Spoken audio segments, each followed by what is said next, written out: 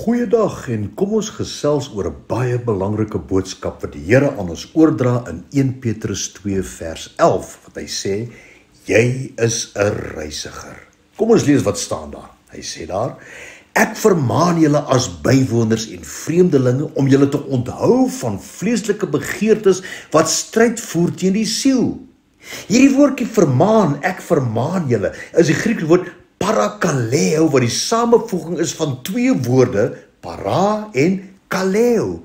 Nou die woord para beteken ek kom staan reg langs jou omdat dit vir my uiters belangrik is. Met ander woorde, ek wil iets vir jou sê. Nou die tweede woordjie is kaleo wat beteken wat ek nou aan jou gaan oordra, wat ek nou van jou gaan smeek is belangrik. Nou die woord parakaleo dui op 'n generaal wat baie naby aan sy soldate staan en hulle smeekend aanmoedig om vas te staan in die geveg wat kom. Hy praat met hulle oor die gevaar wat op hulle wag. Maar hy praat ook van dit wat die oorwinning vir hulle kan inhou, dit wat hulle daaruit kan kry. 1 Petrus 2 vers 11. Ek vermaan julle as bywoners. Nou die woordjie bywoners is in Grieks paroikos wat beteken jy woon saam met 'n volk in sy land maar jy's nie deel van hulle nie. Jy is 'n vreemdeling 'n uitlander. En hoor dit wat bid Jesus daar vir ons in Johannes 19 vanaf vers 14 Ek het hulle u woord gegee en die wêreld het hulle gehaat omdat hulle nie van hierdie wêreld is nie net soos ek nie van hierdie wêreld is nie. Ek bid nie dat julle uit die wêreld moet wegneem nie, maar dat julle van die bose bewaar. Hulle is nie van die wêreld nie, net soos ek nie van die wêreld is nie.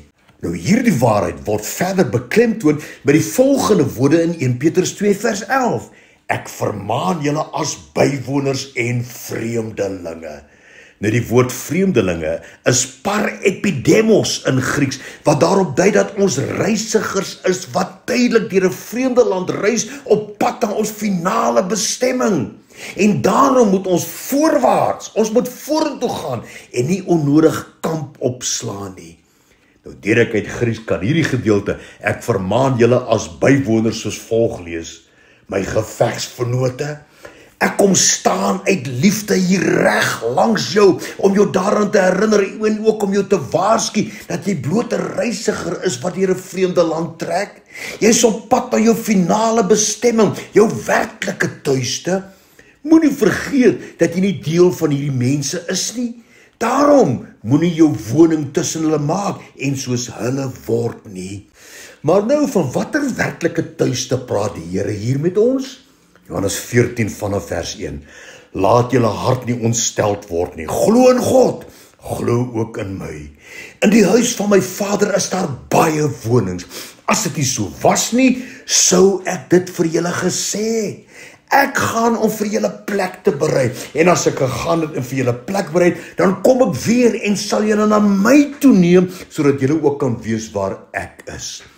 Kan jy sien? Dis die rede waarom ons generaal Jesus nou voor jou staan en hy sê vir jou die volgende: My gevegvernoot, ek staan uit liefde hier reg langs jou om jou daaraan te herinner en ook om jou te waarsku dat jy bloot 'n reisiger is wat hier 'n vreemde land trek op pad na jou finale, jou werklike bestemming. Moenie vergeet dat jy nie deel van hierdie mense is nie. Moet ook in jou permanente woning tussen hulle maak en soos hulle word nie. Maar staan vas in die stryd teen die vyand wat jou totaal en al wil verwoes en alles wat jy het, wil hy ook van jou beroof. Kan jy sien? Ons moet as oorwinnaar in ons daaglikse stryd teen Satan bekroon word, want dan sal ons suksesvol wees in alles wat ons doen. Dankie Here U is ons generaal. U staan reg langs ons. Amen.